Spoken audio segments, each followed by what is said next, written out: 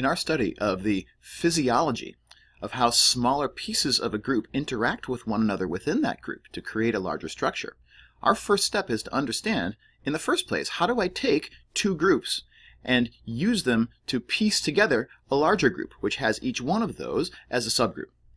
The construction we're going to study now is called the external direct product. It's one way of accomplishing this that turns out to be one of the more important and fundamental ways to do it. In this video, we'll define what an external direct product is and look at some examples. So the motivation for a direct product of groups is fairly straightforward. Let's suppose, for example, that I have the group Z mod 2, so the cyclic group of order 2, and the group Z mod 3, cyclic group of order 3. Each one of those groups has its own operation, its own structure, and kind of does its own thing.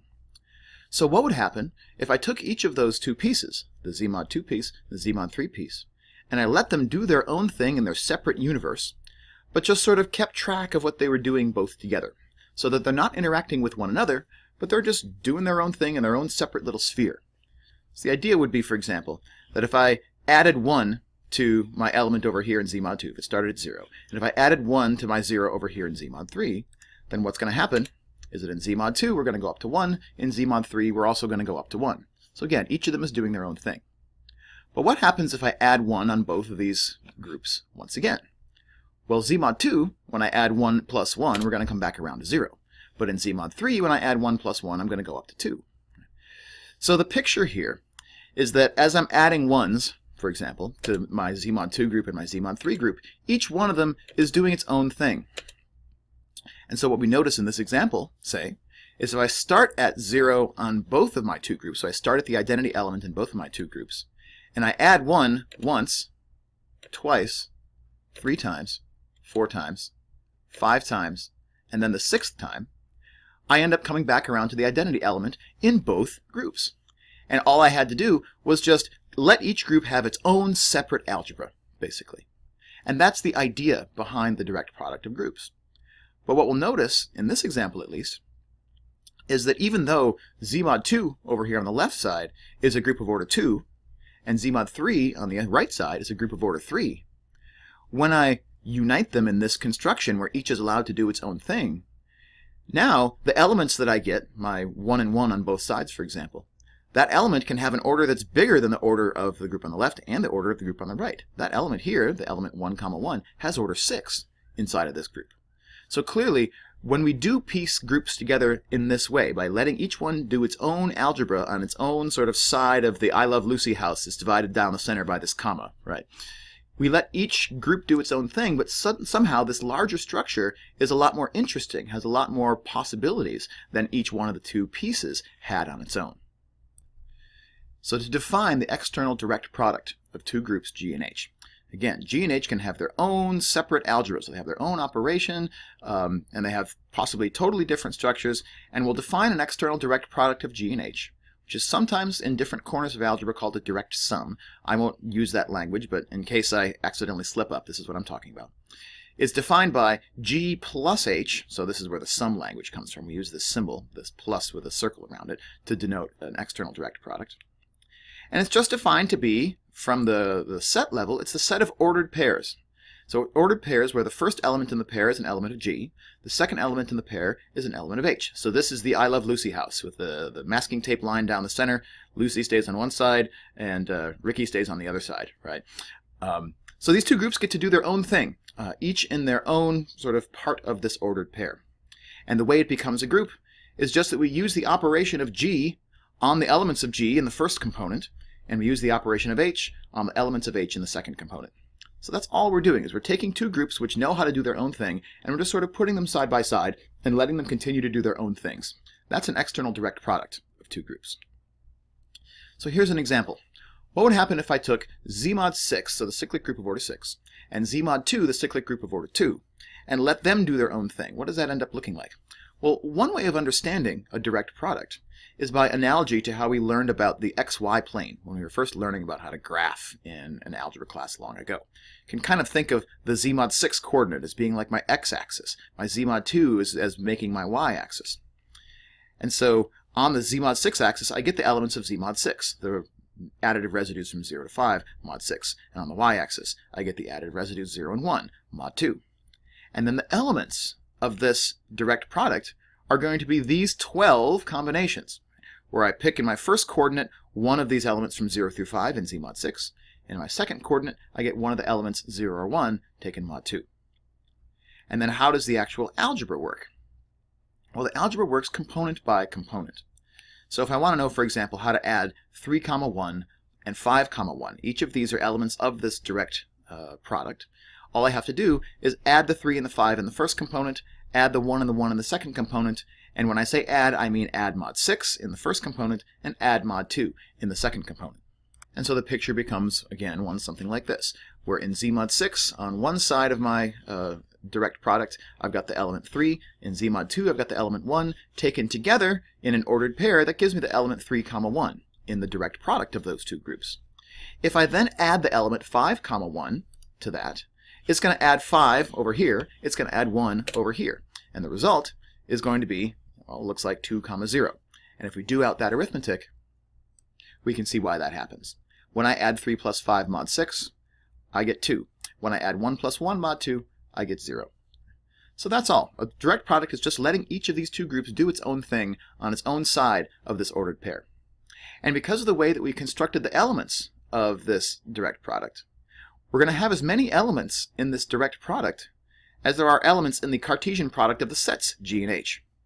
We're going to have n choices of how many elements uh, that we put in the first component if n is the order of G, and we're going to have m choices for how many elements to put in the second component if there are m elements in H. So the order of a direct product, external direct product, is just the product of the orders.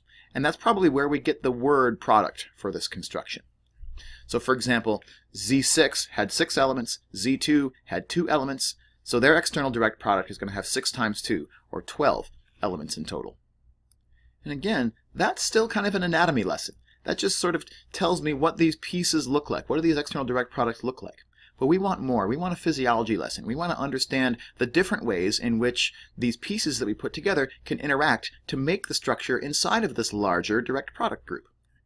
So this is going to require us to ask questions like, is Z6 plus Z2, sorry, Z6 direct product Z2, is this group that we just looked at a second ago isomorphic to the group Z4 direct product Z3? After all, both of these groups, according to this order formula over here, both of them are going to have order 12. 6 times 2, 12. 4 times 3, 12. So these groups have the same number of elements. What can we say about their larger structure, about whether these groups are isomorphic one to another? And here's how I like to answer this question. Let's try and determine whether or not each of these groups is cyclic. After all, Z mod 6 is a cyclic group. For example, 1 is one of its generators. If I add 1 repeatedly, I'm going to account for every element in Z mod 6. Same thing with Z mod 2. 1 is a generator over there. So what happens if I take those 1s and I unite them together into a single ordered pair? Is 1 comma 1 going to be a generator for this direct product? Well, its first power is 1, 1. Its second power in this group is 2, 0. Third power is 3, uh, 3 1. And then 4, 0. And then 5, 1. And then by the time we get to the sixth power of this element, we've come back around to the identity once again. So just by taking these generators of Z6 and Z2 and putting them together into a single ordered pair, we've actually failed to make a generator for this direct product group. In order to be a generator, its order as an element would have to be equal to the order of the whole group, which is 12. But the order here is only 6 for this element, so clearly that's not quite working for Z6 plus Z2. That doesn't mean that there might not be other generators that we haven't found, but that this tactic of taking the generators of each and trying to make a generator for the product doesn't work in Z6 direct product Z2. So what about the other group, Z4 direct product Z3? Does it work to take the generators of Z4 and Z3, for example, 1 and 1, respectively, can I make a generator by putting those two together and make a generator of the larger group? Well, what's the first power of 1, 1? It's going to be 1, 1, as you would expect. The second power is going to be 2, 2. The third power is going to be 3, 0, because now my z mod 3 has come back around to the identity. The fourth power is going to be 0, 1. Now my fourth uh, power has come back around to the identity over here, but we're not the identity over here on the right. Here's the fifth power. Here's the sixth power. Here's the seventh power. Here's the eighth power. Notice we still haven't gotten back around to the identity element of this product group. The ninth power, the tenth power, the eleventh power, and finally on the twelfth power we come back around to the identity. So evidently in Z4 cross Z3, we have found a generator. 1 comma 1 is a generator for this direct product group because its order, 12, is equal to the order of the product group, 12.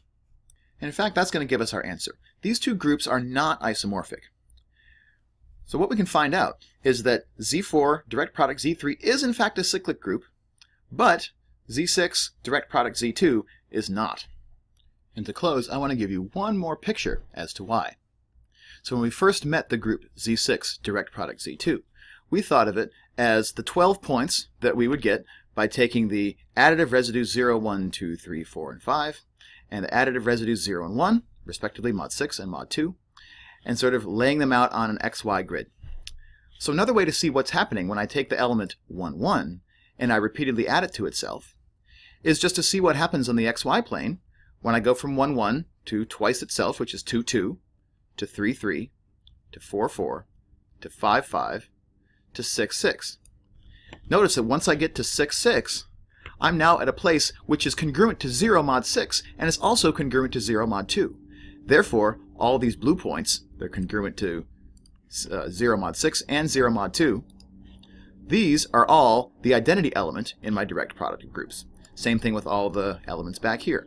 The first element is congruent to 0 mod 6, the second element is congruent to 0 mod 2. So all of the colored dots on this graph are the identity element in my product group. And so if I start with 1, 1, once I've gotten to the 1, 2, 3, 4, 5, 6th power of 1, 1, I've gotten back to the identity. But if I change this picture to instead look at Z4 direct product Z3, where in the first entry 4 and 0 are congruent and in the second entry 0 and 3 are congruent, now what's going to happen if I start taking powers of 1 comma 1? How long before it comes back to one of these colored points, which is the identity element? Well, the first power is not, second power is not, third power is not, fourth, fifth, sixth, and it's at this point that we were already back to the identity in our previous example, but we're not. We're in between these two elements, so we keep going. Here's the seventh power. Here's the eighth power. Zoom out a little bit. Here is the ninth power, the tenth power, the eleventh power, and finally the twelfth power. So in Z4 direct product Z3, where all of my colored points here are now the identity element once we reduce mod 4 in the x direction and mod 3 in the y direction. There, 1 comma 1 doesn't come back to the identity until we get all the way up to its 12th power. What we want to do in our next video is to generalize this observation, to first of all discuss how do we know what the order of an element in the direct product of two groups is. How does it relate to the order of the elements that we're putting together from their original groups? And then secondly, what does that tell us about the order of the direct product group itself? And more importantly, under what circumstances is that direct product of two cyclic groups going to be a cyclic group?